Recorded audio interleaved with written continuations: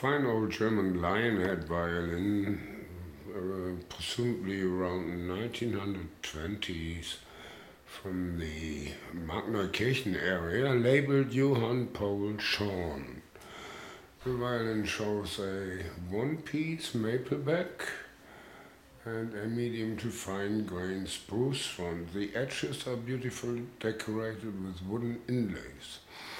In our workshop, the violin received a new setup with newly fitted Elder Ebony pegs, Elder Ebony chin rest and tailpiece, a newly fitted bridge and new strings.